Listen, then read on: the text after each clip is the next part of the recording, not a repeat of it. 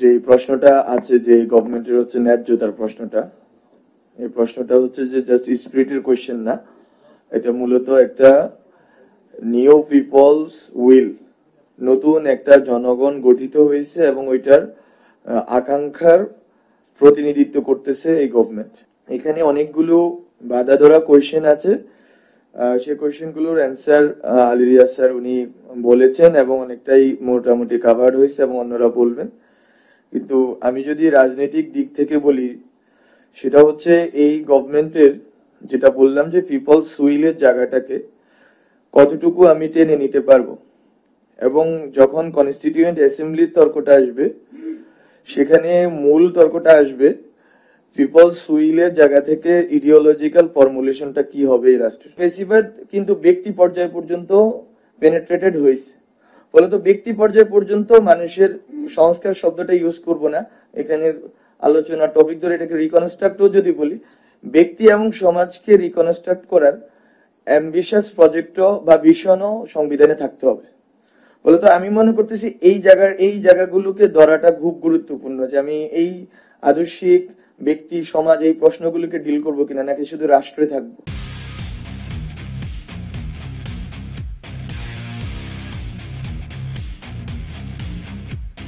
প্রধান উপদেষ্টা ডক্টর মোহাম্মদ ইউনুসের হচ্ছে সহকারী হিসেবে মাহফুজ আলমকে নিয়োগ দেওয়া হয়েছে এবং দেওয়ার পর কিন্তু সবাই একটু চমকাইছে যে কে, তাকে তো আমরা কেউই চিনি না, আসলে কেউ চিনত না। এবং আসিফ মাহমুদকে যখন উপদেষ্টা নিয়োগ দেওয়া হয় তখন কিন্তু একটু আমরা শখ পাইছি, কারণ আমরা কিন্তু সার্জিস এবং হাসনাত আবদুল্লাহকে আরও মোর অ্যাক্টিভ দেখছি, ক্যামেরার সামনে আরও মোর অ্যাক্টিভ দেখছি। আসিফ মাহমুদ বরং একটু স্বল্পভাষী টাইপের সো যখন এদেরকে টিঙায় আসিফ মাহমুদ এবং নাহিদ ইসলামকে করা হইল, আমি পার্সোনালি একটু শখ পাইছি। সো তার মানে এখন আবার দেখলাম যে আমরা মাহফুজ আলম, কে কে, কেউ চিনত না, এই আন্দোলনের প্রধান মুখ না, কিন্তু তাকে করা হয়েছে প্রধান উপদেষ্টার প্রধান সহকারী বা বিশেষ সহকারী। সচিব মর্যাদায়। তাকে যে নিয়োগ দেওয়া হয়েছে, সচিবের মর্যাদা, সুযোগ সুবিধা সে পাবে আমি জানি না এটা কারা করতেছে, কি থট প্রসেসে কীভাবে করা হচ্ছে, তবে একটা জিনিস বাইরে থেকে আমি একটু অ্যাপ্রিসিয়েট করতে পারি, যে জিনিসটা খুবই ম্যাচুরিটির প্রমাণ রাখতেছে। যে ও যে চেহারা সামনে আসছে ক্যামেরার সামনে আসছে, তাকে লোক দেখানোর জন্য হইতেছে স্টানবাজি করে তাকে বানাই দিয়ে না না না।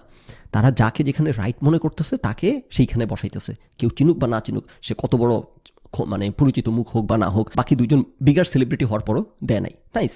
মাহফুজ আলম যাকে আমরা কেউ চিনতাম না, তাকে করা হচ্ছে প্রধান উপদেষ্টার বিশেষ সহকারী। আপনি দেখবেন যে মানে ট্র্যাডিশনাল কথাবার্তা বাইরে কিছু বললে গরম হয়ে ওঠে, সবাই লাফায়। যে না না না কী বলে? এবং যেই কারণে এক্স্যাক্টলি যেই কারণে আমি চাচ্ছিলাম উপদেষ্টা পরিষদ পুরো হবে ছাত্র দিয়ে, এবং এই কারণে আমি একটা এপিসোড করছিলাম, পরে সেই এপিসোডটা আবার অনলিমি করে দিয়েছি। যারা যতজন দেখছেন আর কি, সেখানে আমি আলোচনা করছিলাম যে উপদেষ্টা পরিষদটা নিয়ে আমার একটা বিশ্লেষণ।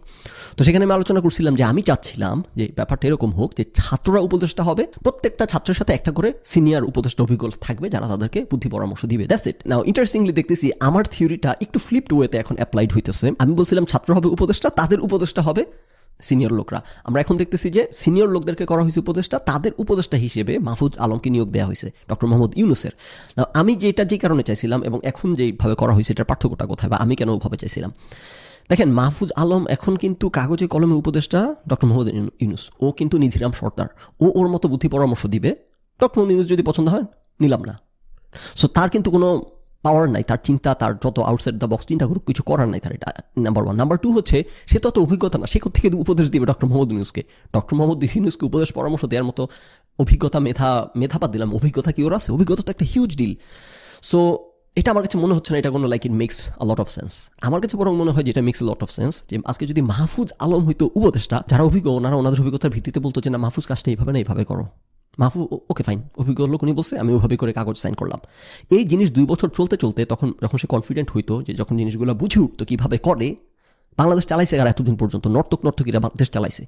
যে আলোচনাটা আমি বারবার করে আসছি, নর্তক, নর্তকী অশিক্ষিত গরু গাথা রাজপথে যে যত বড় পাণ্ডা সে মন্ত্রী হয়।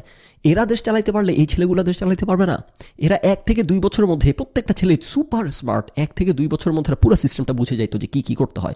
এই এক, দুই বছর উপদেষ্টাদের কাছ থেকে পরামর্শ নিয়ে নিয়ে ওরা কাজ করবে।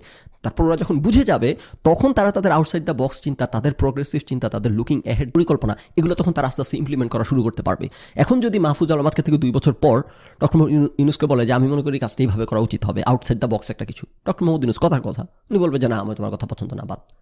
কিন্তু উল্টাটা যদি হইতো, মাহফুজ আলম যদি আজকে উপদেষ্টা হইতো, ডক্টর মোহাম্মদ ইউনুস যদি বলতো এইভাবে করো, প্রথম দুই বছর সে ডক্টর মোহাম্মদ ইউনুসের কথা মতো উঠল বসল, বুঝে গেল জিনিসটা। এবার সে তার চিন্তা, তার মেধা, তার মনন প্রয়োগ করতে শুরু করতে পারতো। তখন যদি ডক্টর মোহাম্মদ ইউনুস বা হোয়াট এভার হু এভার বলতো যে কাজটা এভাবে করো, দুই বছর হয়ে গেছে, সে এখন সব কিছু বোঝে, সে শুনে বলল যে ওকে না, এভাবে না, আমি এটাকে আরেকটু মডিফাই করে আমি এভাবে করতে চাই। তখন উনি যাই বলুক না বলুক, সে কাগজে কলমে পদাধিকার বলে সে চাইলে তারটা ইমপ্লিমেন্ট করতে পারতো। এখন কিন্তু তার মেধার, তার ফরওয়ার্ড লুকিং ফরওয়ার্ড থিঙ্কিং এর কোনো ইমপ্লিমেন্টেশন হবে না at the end of the day তো যাই হোক আমি চাচ্ছিলাম সেইভাবে হোক। এখন আমার আফসোস হচ্ছে যে কেন রাখলাম না? এক্স্যাক্টলি কাজটিতে করা হচ্ছে এখন। উল্টা করে করা হচ্ছে কিন্তু ডক্টর মোহাম্মদ ইউনুসের বিশেষ সহকারী হিসেবে সচিব পদমর্যাদায় নিয়োগ দেওয়া হয়েছে একটা ছাত্রকে যাকে কেউ চিনে না রাইট সো এই জন্য আমি চাচ্ছিলাম যে নতুন বাংলাদেশ একটু জিনিসগুলো অন্যভাবে হোক, আলাদাভাবে হোক। ইসলামের একটু কথা আমরা শুনি। আমাদের এখানে পুঁজিবাদ, আমাদের এখানের সমাজ ব্যবস্থা আর আমেরিকা, ইউরোপের সমাজ ব্যবস্থা এক না। সুতরাং যেই সব তত্ত্ব আমরা পশ্চিমা তত্ত্ব দিয়ে আমাদের জনগোষ্ঠীকে, আমাদের রাজনীতিকে ডিফাইন করতে যেয়ে যখন দেখি আমরা কাজ করছে না, সেখানে আমাদের খড়ক বাড়বে এবং আমরা পশ্চিমা তত্ত্বকে আমাদের জনগোষ্ঠীর তত্ত্বের ধাঁচে ফেলতে চাই, সেখানেই সমস্যা। সেজন্যই বলছে যে আমাদের নিজস্ব তত্ত্ব নির্মাণ করতে হবে। শুনুন একটু আলোচনাটা। এতদিন ধরে যেভাবে চলে আসছে যে ইউরোপের যেই তত্ত্বগুলো আমরা পেয়েছি, সেই তত্ত্ব অনুযায়ী আমরা আমাদের সমাজে এটা, সেটা ব্যবহার করার চেষ্টা করেছি। যখন ইউরোপীয় তত্ত্বের সাথে আমাদের সমাজটা মিলে নাই তখন আমরা ভেবেছি যে আমাদের সমাজটাতেই হয়তো সমস্যা, আমাদের সমাজটাই হয়তো অবিকশিত, যেটা মার্ক্সবাদী আলোচনার ভিতরে আমরা দেখতে পাই যে এখানে সামন্তবাদ নাই বা এখানে পুঁজিবাদের বিকাশ ঘটে নাই, তার মানে হচ্ছে সেই তত্ত্ব দিয়ে যখন এটা ব্যাখ্যা করা যাচ্ছে না, তখন আমরা ধরে নিচ্ছি যে আমাদের সমাজটা অবিকশিত। এবং এই তর্কগুলা সেই সময় থেকে ছিল যে, তো সেই জায়গা থেকে এই যে ইউরোপীয় বা ইউরোপ কেন্দ্রিকতা তত্ত্বের যে চিন্তা সেইটা থেকে অতিক্রম করে কীভাবে আমরা ডুইং থিওরি নিজেদের তত্ত্ব নির্মাণ করতে পারি, সেই আলাপটা এখানে আসছে।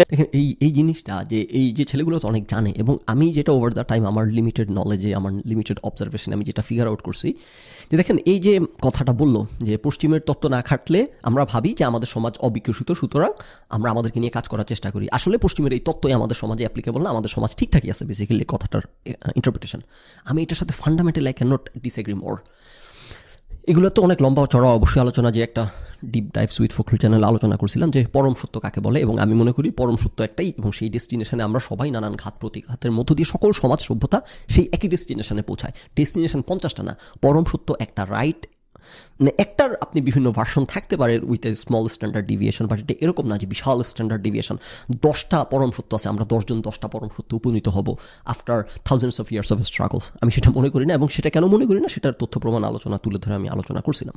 এটার একটা ছোট্ট হাতের সামনে আমাদের প্রমাণ হচ্ছে, দৃষ্টান্ত হচ্ছে যে socialism failed every fucking where socialism পৃথিবীর প্রত্যেকটা কোনায় কোনায় ফেল করছে। অথচ সোশ্যালিজম শুনতে কত বড় একটা গাল ভরা বুলি। কি সুন্দর, চমৎকার একটা কনসেপ্ট যখন এই কনসেপ্ট নিয়ে আসা হয়েছে, আমার তো ধারণা সবাই ভাবছে যে পৃথিবী শেষ বললে এখন ধনী গরিব আর কোনো ভেদাভেদ থাকবে না। রিসোর্সের সুষম বন্টন হবে, ধনী গরিব ভেদা কি জানি?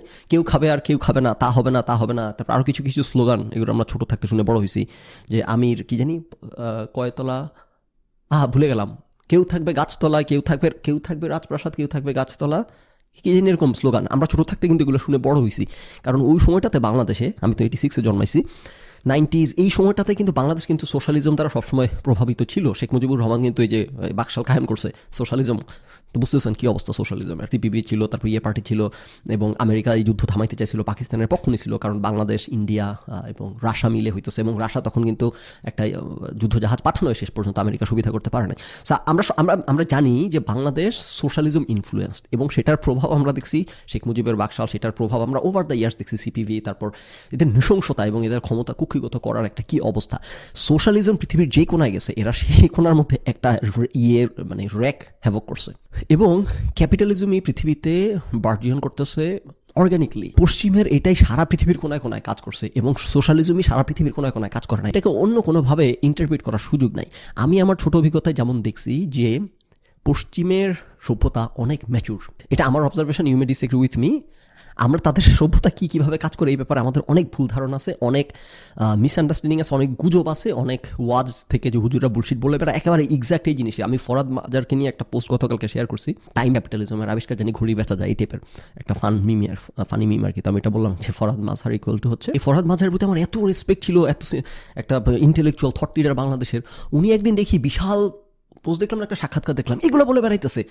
কি বল, ঘটনাটা এর টপিকটা কি মনে নাই? তবে আপনি টপিকটার সারমর্ম হচ্ছে এরকম, সময় মানুষ সময় আবিষ্কার করছে ঘড়ি বেচার জন্যে। ঘড়ি ব্যবসায়ীরা ষড়যন্ত্র একটা। আমি ফরহাদ মাজারের কাছ থেকে এই লেভেলের এক্স্যাক্ট এই ঘটনা কিন্তু এই লেভেলের বুল ক্র্যাপ শুনে আমি কী বলে বেড়াইতেছে এই লোক? তো পুরা রেসপেক্ট হারাই ফেলছি এবং এই জিনিস আমি এত বাংলাদেশি ইন্টেলেকচুয়ালের মধ্যে দেখছি, এরা পশ্চিম সম্পর্কে বা পশ্চিমা সভ্যতা সম্পর্কে কি যে বলে বেড়ায়।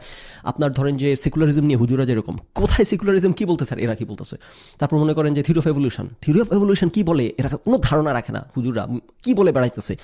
শিক্ষিত লোকজন। এটা অনেক সময় লাগছে এই জিনিস থেকে র্যাপ আউট করতে মানে আনরাভেল করতে যে আমাদের সমাজে যেগুলো বলে বেড়ায়, এর একটা বিশাল অংশ হ্যাভ নো আইডিয়া পশ্চিমা সভ্যতা কী, পশ্চিমা সভ্যতা কীভাবে কাজ করে ফ্রিডম অফ স্পিচ কি ফ্রিডম অফ স্পিচ কীভাবে কাজ করে, এরা এখান থেকে বসে, এরা খুব পণ্ডিত, এরা সকল কিছু ফিগার আউট করে ফেলছে। পশ্চিম খারাপ, আমরা হইতেছে, কি জানি আমি কথাটা, যে পশ্চিমের তত্ত্ব আমাদের এখানে না খাটলে আমরা ভাবি আমাদের সমাজ অবিকশিত। আসলে আমাদের সমাজের সমস্যা না পশ্চিম কি বিশ্বসেরা হয়ে গেছে নাকি? না, তারা বিশ্বসেরা হয়ে যায় না তারা এই সভ্যতার ঘাত প্রতিঘাতের মধ্য দিয়ে এগুলো সব ফিগার আউট করে ওই জায়গায় পৌঁছে গেছে বিধায় তাদেরকে অনুসরণ করার কথা বলা হয়। তো এই যে একটা রেজিস্ট্যান্স আমাদের, একটা ডিপ স্টেট কাজ করতেছে পশ্চিমের একটা ডিপ স্টেট মিলে সারা পৃথিবী, কি জানি বলে আপনার যে থ্রি আই কি বলে এটাকে? ইলুমিনাটি এই জিনিসটা আমাকে এত হতাশ করে, এই জিনিসটা এত প্রেভেলেন্ট বাংলাদেশের খুব সিরিয়াস ইন্টেলেকচুয়াল যারা, তাদেরও কথা বলার, হঠাৎ করে দেখি তাদের মুখ থেকে এগুলো বের হয়। এবং এমন এত হতাশ করে আমাকে এটা খুবই দুঃখজনক।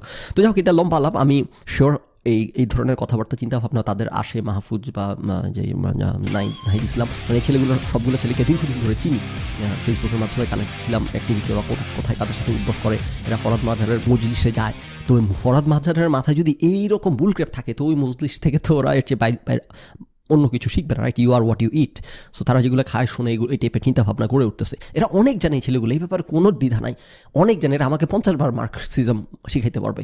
কিন্তু আবার জানার মধ্যে অনেক ভুল আছে, অনেক গ্যাপ আছে, অনেক মিসআন্ডারস্ট্যান্ডিং আছে। কেন তারা মানে পশ্চিমে যে নিয়ম কানুন আইন, আদালতগুলা দা ওয়ে দে আর কেন? কারণ আমি বুঝতে অনেক সময় লাগছে। প্রত্যেকটা জিনিস এভরি লিটল থিং আমি এই রিয়েলাইজেশনে আসছি যে, ও এটা এটা প্রচণ্ড ম্যাচুর এরা। এই জিনিসটা এভাবে করে করছে ইয়েস শুরুর দিকে দেখে ডিডন্ট মেক সেন্স পরে দেখলাম যে, না, এটা অনেক কমপ্লেক্স একটা ব্যাপার। এবং এই পুরো কমপ্লেক্স ব্যাপারটাকে সর্বোচ্চ এফেক্টিভলি অ্যাড্রেস করতে গেলে এভাবেই করতে হবে। This is not the foolproof way না। আপনি এটা হাজারটা সমালোচনা ফাঁকফুক করতে, ধরতে পারবেন। And yet this is the best we have এটার চেয়ে এটার most optimise still most optimise right এখানে এই ছেলেগুলো যে কথাগুলো বলতেছে, অনেক সুন্দর কথা, সব ঠিক আছে, কিন্তু এটা কিন্তু ফরাত মাজারের মজলিশে বসে বসে মাথা মুথা গেছে।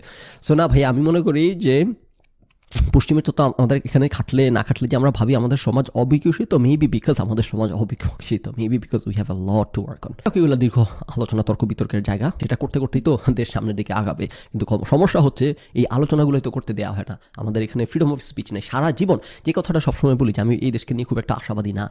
আমাদের দেশে দেখবেন এখনও কিন্তু একনায়কতন্ত্র, স্বৈরতন্ত্র সোশ্যালিজম এই রাশা, এগুলাকেই কিন্তু, চায়না কমিউনিজম এগুলাকেই কিন্তু এখনও গ্লোরিফাই করা হয়। এবং এরাও কিন্তু এই পন্থী চিন্তাভাবনা, কিন্তু এরা পশ্চিম আমেরিকা এসে ইউরোপিয়ান এনলাইটেনমেন্ট কলোনিজম এই এটার বাংলাদেশে সারাদিন এগুলো চলতে থাকে। এবং এই করতে করতে এরা দেখ আলটিমেটলি এত বড় একটা অভ্যুত্থান হয়ে আবার এরা মোটামুটি মনে করেন কাস্তে, হাতুড়ি কাস্তের দিকে আবার নিয়ে যাবে দেশকে। তো এই জন্য আর কি আমার ভয় হয়, আমার অনেক তো রাশান অনেক তো চাইনিজ আদলে চললেন, দেশ চালাইলেন। দেখলেন দেশ কোথায় যায়, দিনের পর দিন তেল খালি, এটা র্যাবিট হোলের দিকে যাচ্ছে। এবার একটু কি পশ্চিমের তত্ত্বটা খাটান, এবার একটু খাটায় দেখেন যে আসলে সমস্যাটা কি? আমাদের সমাজ আসলে কি আমার আমাদের সমাজ অবিকশিত বিধা সমস্যা? নাকি পশ্চিমের তত্ত্বে কোনো একটা ঝামেলা আছে যেটা আমাদের সমাজে খাটছে না? পৃথিবীর সকল সমাজ, সকল মানুষ ফান্ডামেন্টালি একভাবে আচরণ করে, একই রকমের স্ট্রাগলের মধ্য দিয়ে যায়। পশ্চিম যে এইগুলা ফিগার আউট করে ফেলছে, এগুলোর প্রতি একটু রেসপেক্ট রাখা উচিত। একটু পশ্চিমারা কী বলে, কেন বলে, কীভাবে করে, কেন করে তাই মোস্ট ইম্পর্টেন্টলি কেন তারা এইভাবে করে ডিসিশনগুলো নিচ্ছে? কেন তারা তাদের রুল আইন পলিসি এভাবে করে করতেছে? কেন তারা বলে যে ফ্রিডম অফ স্পিচ অ্যাবসোলিউট হওয়া উচিত? সেটা না করলে শেখ হাসিনা এসে তখন বাপের বিরুদ্ধে কিছু বলা যাবে না, এই আইন বানায় দেশকে একটা এই জিনিসগুলো ওরা অনেক আগে ফিগার আউট করে ফেলছে। ইয়েস অ্যাবসুলুট ফ্রিডম অফ স্পিচের অনেক খারাপ দিক আছে, নবীজি সাল্লাহ সাল্লামকে নিয়ে আকথাগু কথা বলবে, আপনাকে নিয়ে আকথাগু কথা বলবে। অ্যাট দ্য সেম টাইম আপনি আবার তখন রাষ্ট্রপ্রধানকে নিয়ে যা ইচ্ছা তাই বলতে পারবেন আপনি তখন। তখন আবার আপনি হাজার ধরনের মানবাধিকার উপভোগ করবেন।